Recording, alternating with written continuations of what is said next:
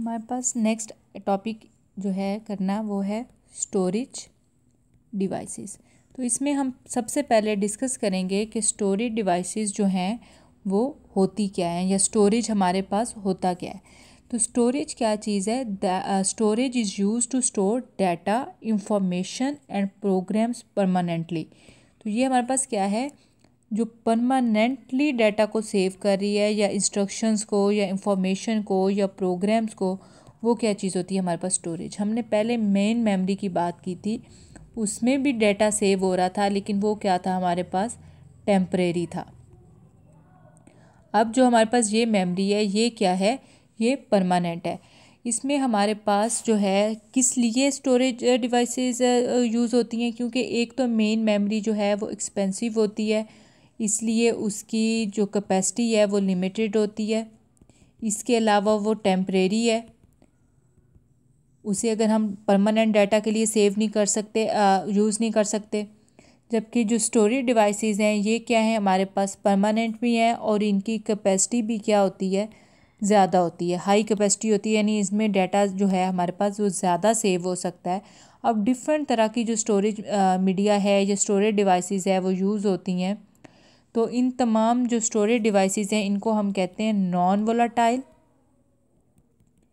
और जो main memory होती है, उसे कहते हैं वोलाटाइल मेमोरी इसे कहते हैं नॉन वोलाटाइल मेमोरी क्योंकि ये परमानेंट है, ये वोलाटाइल नहीं है, ये डिसपेयर नहीं होती। और इसे मेन मेमोरी को हम क्या कहते हैं? वोलाटाइल मेमोरी तो अब इसमें अगर हम करें कि जो है स्टोरेज डिवाइसेस इसके दो इंपॉर्टेंट हमारे पास फ़ंक्शंस आ जाते हैं पहले स्टोरेज डिवाइसेस के, वो हैं हमारे पास रीडिंग और राइटिंग रीडिंग क्या चीज़ है कि जो डाटा हमने स्टोरेज डिवाइस में सेव किया हुआ है, उस डाटा को एक्सेस करना जो है, वो हमारे पास क्या आ जाता है? उस डाटा को रीड करना।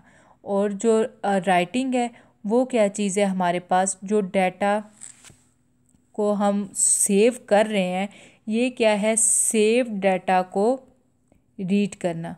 रीडिंग क्या है? एक्सेसिंग सेव डाटा ठीक है? कि जो हमारे पास सेव डाटा है, उसे एक्सेस करना। और राइटिंग क्या है? हमारे पास सेविंग डाटा किसी भी किस्म के डाटा को सेव करना हम राइटिंग कहते हैं, उसे एक्सेस करना हम क्या कहते हैं? रीडिंग फर्दर आ जाता है हमारे पास कि डिफरेंट जो स्टोरेज हैं, उनकी हमारे पास करेक्टरिस्टिक्स या एट्रीब्यूट्स क्या होती हैं। तो हमारे पास इसमें करेक्टरिस्टिक्स आ जाता है। तो करेक्टरिस्टिक्स जो मेन दो करेक्टरिस्टिक्स कंसीडर होती हैं हमारे पास स्टोरेज मीडियम की या स्टोरेज डिवाइसेस की तो वो क्या है हमारे पास उनकी कैपेसिटी और दूसरी चीज़ स्पीड कि वो कितना डाटा स्टोर कर सकती हैं। फॉर एग्ज़ाम्पल वो वन जीबी कर सकती हैं वन टेराबाइट कर सकती हैं, या हमारे पास क्या है, वो हंड्रेड एमबी कर सकती हैं कि उनकी कैपेसिटी क्या है। और स्पीड क्या चीज़ है हमारे पास कि कितना टाइम लगता है उस डाटा को एक्सेस करने में, या डाटा को स्टोर कराने में, या डाटा को ट्रांसफ़र करने में कि कितनी जल्दी हम उसे काम कर सकते हैं, क्या स्पीड है उसकी, जो एक्सेस टाइम है, जो कि हमारे पास मिली सेकेंड्स में मैयर होता है तो ये चीज़ हमारे पास आ जाती है। जिस डिवाइस का जितनी स्पीड ज़्यादा है, वो कंप्यूटर उस, वो यूज़ करेंगे तो कंप्यूटर पे काम करना हमारे लिए उतना आसान होगा, क्योंकि हमारे पास उसे डाटा को उतनी जल्दी से एक्सेस कर सकते हैं। हमें एक्सेस करने के लिए डाटा को ज़्यादा वेट नहीं करना पड़ेगा। इसी में फर्दर हम जो चीज़ देखते हैं वो है basic units of data storage कि डाटा स्टोरेज के हमारे पास बेसिक यूनिट कौन से हैं? कि डाटा स्टोरेज हमारे पास किन यूनिट्स में मैयर होती है?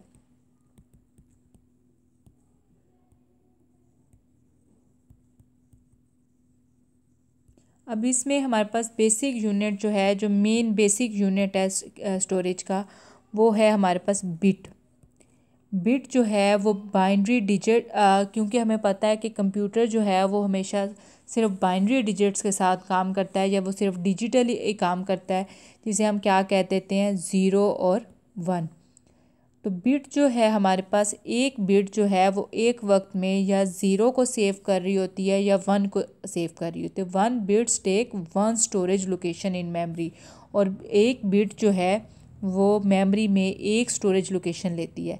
क्योंकि ये बाइनरी डिजिट है, इसीलिए हम इसे क्या कह रहे हैं? बिट अब क्योंकि बिट बहुत स्मॉल यूनिट है और इसको, हर स्मॉल यूनिट को इसको एक्सेसिबल बनाना या इसे इस पर काम करना जो है इतना एफिशिएंट नहीं है। तो हम क्या यूनिट यूज़ करते हैं? बाइट बाइट किसके इक्वल है? एट बिट्स के इक्वल है। तो collection of eight bits is called byte it is use to store single character एक सिंगल करेक्टर जो आपने सेव करना है वो हमारे पास किसमें होता है? एक बाइट में सेव होता है। आपने दो करेक्टर करने हैं तो वो दो बाइट्स में होंगे। इसी तरह से बाइट भी देखें हमारे पास सिर्फ़ कुछ करेक्टर कर रही है तो हमें अगर बड़े यूनिट चाहिए तो हम प्री फिक्सिस यूज़ कर रहे होते हैं। फॉर एग्ज़ाम्पल हम कह देते हैं किलो बाइट किलो का मतलब क्या होता है? थाउज़ेंड एक्चुअली इसमें हमारे पास one zero two four bytes के इक्वल होता है एक किलो बाइट लेकिन हम इसे थाउज़ेंड बाइट्स ही राउंड ऑफ़ करके कंसीडर कर लेते हैं कि किलो का क्या मतलब है। किलो बाइट्स हमारे पास क्या मतलब है उसका? कि थाउज़ेंड बाइट्स किलो का क्या मतलब होता है? थाउज़ेंड ये हमारे पास प्रीफिक्स है जो हम थाउज़ेंड जिसके लिए। इसी तरह से मेगा है। मेगा में हमारे पास क्या होता है? कि ten raise to power six जो है, उसके लिहाज से आ जाता है कि हमारे पास इसमें one zero two four kilo bytes आ जाती हैं। ठीक है? यानी अगर इसे आ, ये वाली चीज़ इसमें आ जाएगी हमारे पास। तो फर्दर ये है इसी तरह से मेगा बाइट्स है इसी तरह से हमारे पास गीगा बाइट आ जाता है टेरा बाइट आ जाता है जिसमें फर्दर जो है इसी तरह से हमारे पास तीन का इसका इसके लिहाज से इंक्रीमेंट होता जाता है कि मज़ीद जो उसमें वैल्यूज़ हैं हमारे पास यूनिट बड़ा होता जाता है कैपेसिटी उसकी इंक्रीज़ होती जाती है। जैसे अगर एक डिवाइस हमारे पास है हम बजाय उसके लिखने के कि वन थाउज़ेंड जो है हमारे पास या वन मिलियन जो है वो मेगा के बी है हम उसे बड़े यूनिट में मेगाबाइट में डिवाइड करके कह सकते हैं कि वो क्या है? थाउज़ेंड मेगाबाइट की है। अगर थाउज़ेंड मेगाबाइट के लिहाज से भी हम उसे कह सकते हैं कि वो कितने की है? वन जीबी की है। तो यूनिट कैपेसिटी को शॉर्ट करने आ, में लिखने के लिए जो है हम बड़े वाले यूनिट्स को यूज़ करते हैं। ये हमारे पास आगे थे basic units of data storage further इसमें आ जाता है हमारे पास डाटा एक्सेस मेथड्स कि डेटा को एक्सेस करने के मेथड कौन से हैं? तो हमारे पास सबसे फ़र्स्ट आ जाता है random access method random access method में क्या होता है कि हमारे पास जो डाटा है, वो किसी भी लोकेशन से डायरेक्टली रिट्रीव हो सकता है और तमाम जो जो लोकेशंस हैं, उनसे डाटा हम सेम टाइम में ही एक्सेस कर सकते हैं। इनको हम डायरेक्ट एक्सेस मेथड भी कहते हैं रैंडम एक्सेस को। और इसके अलावा जो, ये तमाम स्टोरेज डिवाइसेस हैं, ये हमारे पास कौन सी स्टोरेज डिवाइसेस होती हैं? एड्रेसेबल कि हम इसे कहते हैं कि इसमें जो ये कौन सा मीडिया है? एड्रेसेबल मीडिया है कि हमारे पास जो पूरा स्टोरेज मीडियम है, उसके हर का हमारे पास यूनिक एड्रेस होता है और उस एड्रेस के ज़रिए रैंडमली डाटा को सिलेक्ट किया जा सकता है। दूसरा मेथड आ जाता है हमारे पास सिक्वेंशियल मेथड जिसमें डाटा को एक्सेस जो है, वो सिक्वेंशली किया जा रहा होता है। तो हमारे पास सेकंड वाला कौन सा आ जाता है? सिक्वेंशियल एक्सेस मेथड इसमें जो है, अगर हमारे पास फॉर एग्ज़ाम्पल डाटा सेव है तो हमने ये डिफरेंट जगह पे या डिफरेंट ब्लॉक्स हैं डाटा के। अगर हमने थर्ड वाले को एक्सेस करना है तो हम यहाँ से मूव करेंगे। मूव करते जो है, यहाँ तक पहुँचेंगे। डायरेक्टली यहाँ पे कंट्रोल नहीं आएगा। तो ये हमारे पास क्या है? सिक्वेंशियल एक्सेस मेथड कि जिसमें डाटा को हम सेम ऑर्डर में रिट्रीव कर सकते हैं। तो ये जो है हमारे पास कौन सा आ जाता है? सिक्वेंशियल एक्सेस मेथड इसकी एग्जांपल देखें तो जो हमारे पास पहले म्यूज़िक वगैरह के लिए कैसेट टेप्स यूज़ होती थी, उसमें अगर हमने नेक्स्ट ट्रैक करना होता था नेक्स्ट सॉन्ग करना होता था तो हम फॉरवर्ड का बटन प्रेस करते थे, जिससे क्या है, वो तमाम जो वो सॉन्ग्स हैं वो फॉरवर्ड होते थे वेट करते थे, फिर हम उसे एक्सेस कर सकते थे। तो ये वाला मेथड जो है, ये कौन सा है हमारे पास? सिक्वेंशियल एक्सेस का मेथड जिसमें तमाम जो रिट्रीविंग है, वो एक ऑर्डर में हो रही है। यानी अगर इसे रिट्रीव करना है तो हम कम टाइम में करेंगे। इसे रिट्रीव करना है तो टाइम ज़्यादा लगेगा। ये आ जाते हैं हमारे पास एक्सेस मेथड नेक्स्ट हैं हमारे पास डिफरेंट किस्म की जो स्टोरेज डिवाइसेस यूज़ होती हैं। सबसे मोस्ट कॉमन और जो टेक्निक है या डिवाइस है जो मोस्टली डिवाइसेस में यू यूज़ होती है, वो है मैग्नेटिक डिस्क मैग्नेटिक डिस्क क्या है? मैग्नेटिक मटेरियल को यूज़ करते हुए it stores data using magnetic material कि ये मैग्नेटिक मटेरियल की बनी होती है और ये इसी मैग्नेटिक मटेरियल के ज़रिए डाटा को स्टोर कर रही होती है। और data on magnetic disk stored in tracks and sectors और इसमें जो मैग्नेटिक डिस्क में डाटा होता है, वो ट्रैक्स और सेक्टर्स के लिहाज से सेव होता है। अगर हम ये कह रहे हैं कि ये हमारे पास एक क्या है? मैग्नेटिक डिस्क है। तो इसमें फर्दर जो है अंदर डिफरेंट किस्म की हमारे पास इस तरह से लाइंस होती हैं, जो हम क्या कह रहे होते हैं, ये मुख्तलिफ़ ट्रैक्स बने हुए हैं। ये जो ट्रैक्स हैं, ये फर्दर डिवाइडेड होते हैं।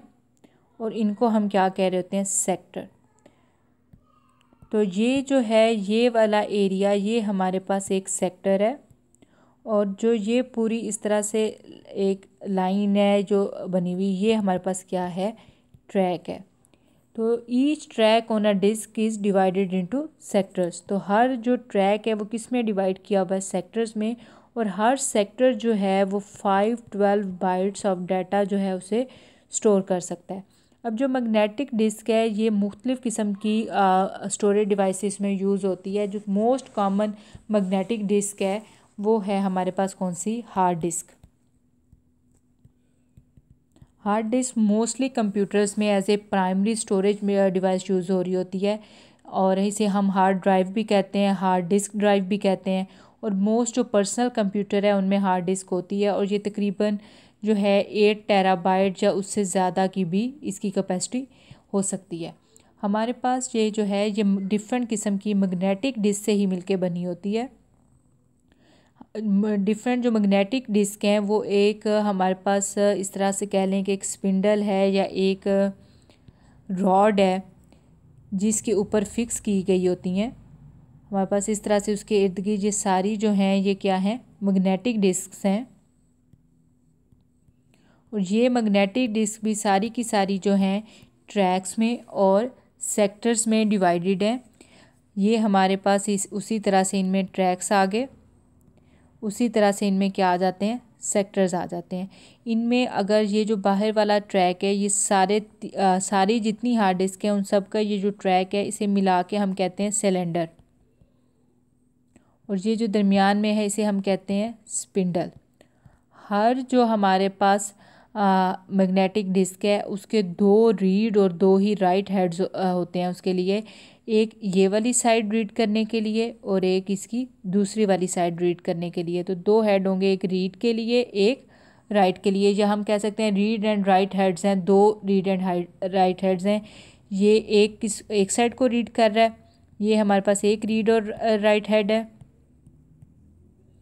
और ये दूसरा रीड और राइट हेड है। ताकि दोनों साइड्स को जो है वो डाटा को रीड कर सके एक्सेस कर सके डाटा को सेव कर सके। और जो हमारे पास डिफरेंट सेक्टर्स हैं, उनको कंबाइन करके हम इसमें क्लस्टर बनाते हैं और क्लस्टर जो है smallest unit of disk space है दैट स्टोर्स डाटा तो ये हमारे पास एक यूनिट बन जाता है डाटा को स्टोर करने का।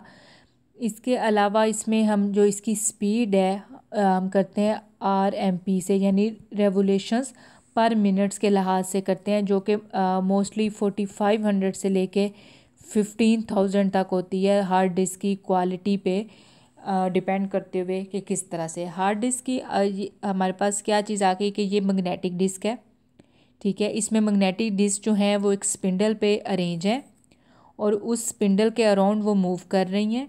हर जो मैग्नेटिक डिस्क है, उसके दो दो रीड और राइट हेड हैं। एक ऊपर वाली सरफेस के लिए, एक उसकी नीचे वाली सरफेस के लिए।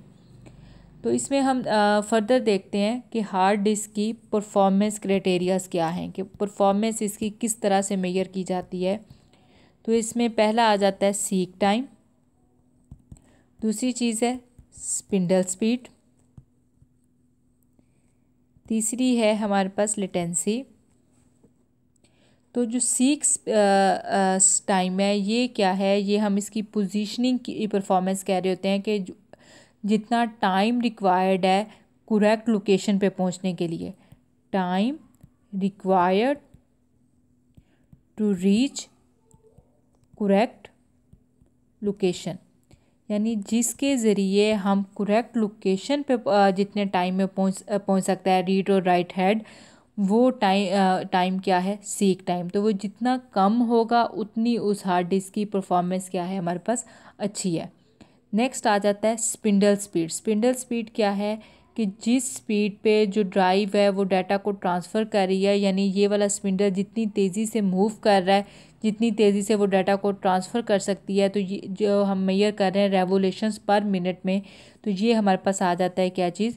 के ट्रांसफ़र स्पीड नेक्स्ट है लेटेंसी लेटेंसी है time required by the spinning platter to bring the desire data to read and write head कि जितना टाइम लगता है स्पिंडल को मूव करके स्पिनिंग जो प्लेटर है, ये वाला जो इसके साइडों पे हम इन हार्ड डिस्क मैग्नेटिक डिस्क को क्या कहते हैं? प्लेटर्स तो ये जो स्पिन करके प्लेटर को जो टाइम लग रहा है, किसी डिज़ायर डाटा रीड और राइट हेड को सही डिज़ायर डाटा को ब्रिंग करने में तो ये चीज़ हमारे पास कौन सी आ जाती है? लेटेंसी।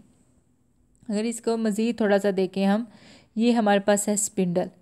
ये भी मूव कर रहा है। ये जितनी तेज़ी से मूव करेगा, उतना तेज़ क्या होगा हमारा, उतना फास्ट क्या होगा ट्रांसफ़र रेट। सीक टाइम क्या है कि हमारे पास ये जो रीड और राइट हेड है, इसने मूव करके जो है जितनी देर में करेक्ट लोकेशन पे पहुँचना है। और लेटेंसी क्या है, इसमें करेक्ट लोकेशन पहुँचने के लिहाज से इधर जो फर्दर हमारे पास है कि कौन सा ट्रैक इसमें से सिलेक्ट करना है, कौन सा सेक्टर सेलेक्ट होना है, वो कौन सा है, हमारे पास क्या चीज़ है लेटेंसी इसमें फर्दर हमारे पास कंसेप्ट आ जाता है. एक्सटर्नल और रिमूवेबल हार्ड डिस्क हमने अभी शुरू में बात की थी कि जो हार्ड डिस्क है मोस्टली कंप्यूटर्स की प्राइमरी स्टोरेज मीडियम है और इसे हम हार्ड ड्राइव्स भी कह रहे हैं। वो जो प्राइमरी स्टोरेज मीडियम है, वो मोस्टली कंप्यूटर्स के अंदर या लैपटॉप्स वगैरह के अंदर जो है, वो फिक्स होता है, उसे बार बार निकाला या चेंज नहीं किया जा सकता तो वो हमारे पास इंटरनल हार्ड डिस्क होती हैं। एक्सटर्नल या रिमूवेबल हार्ड डिस्क कौन सी हार्ड डिस्क हैं? ऐसी हार्ड डिस्क जिसे हम यूएसबी कनेक्शन यानी यूएसबी पोर्ट या फायर वायर पोर्ट जो है उसके ज़रिए कंप्यूटर से कनेक्ट कर सकें और डाटा को आ, सेव कर सकें या डाटा को वहाँ से एक्सेस कर सकें। तो ऐसी हार्ड डिस्क को हम क्या कहते हैं? एक्सटर्नल या रिमूव रिमूवेबल हार्ड डिस्क तो पोर्ट क्या होता है? कोई भी कनेक्शन या इंटरफे फेस जो प्रोवाइड कर रहा है जिसके ज़रिए हम डिवाइस को कनेक्ट कर सकते हैं। कनेक्शन और इंटरफेस जैसे हमने अगर हेडफोन करना है तो हेडफोन वाले पोर्ट में हम लगाते हैं हेडफोन को। इसी तरह से यूएसबी यूज़ करनी होती है तो यूएसबी पोर्ट में लगाते हैं। तो वो क्या होते हैं? कनेक्शन होते हैं इंटरफेस होते हैं जो हमें मेन जो मदर बोर्ड है जैसे कंप्यूटर के अंदर उससे कनेक्ट कर रहे होते हैं, जिसके साथ बाकी सारी भी डिवाइसेस कनेक्ट हुई हुई होती हैं। तो ये हमारे पास पोर्ट्स आ जाती हैं। तो एक्सटर्नल रिमूवेबल हार्ड डिस्क कौन सी हैं? जिन्हें उन यू एस पी कनेक्शंस या पोर्ट्स के ज़रिए जो है कंप्यूटर से कनेक्ट किया जा सके। तो एक्सटर्नल और रिमूवेबल हार्ड डिस्क किस लिए यूज़ यूज़ हम कर सकते हैं कि हमने बहुत लार्ज डाटा जो है उसे ट्रांसफ़र करना है। ठीक है? तो अगर हम कोई छोटा मीडियम यूज़ करेंगे या नेट के ज़रिए सेंड करेंगे तो बहुत टाइम लेगा। तो इसकी बजाय एक अगर हार्ड डिस्क है काफ़ी हाई कैपेसिटी की हार्ड डिस्क है, उसमें हम डाटा को डाल के तो दूसरे कंप्यूटर में या डिवाइस में कर लेते हैं तो वहाँ पे भी यूज़ेबल रह जाता है। हमने एक जगह से डाटा दूसरी जगह लेके जाना है, तब भी यूज़ेबल रहता है। इसके अलावा अगर हमने डाटा का बैकअप लेना है, यानी हम जो कंप्यूटर यूज़ कर रहे हैं, हम चाहते हैं कि उसका डाटा जो है, हम कहीं और भी सेव रख लें। अगर किसी वजह से डाटा में कोई इशू आ जाता है तो हमारे पास डाटा हमारा सेव पड़ा हुआ हो किसी और जगह पे भी, अगर कंप्यूटर ख़राब हो गया है या कोई भी इस इस तरह का इशू है कि हम उसे एक्सेस नहीं कर सकते तो हमारे पास एक एक्स्ट्रा कॉपी जो है वो बैकअप या एक्स्ट्रा कॉपी क्या है, मौजूद हो तो तब भी हम एक्सटर्नल या रिमूवेबल हार्ड डिस्क को यूज़ कर सकते हैं।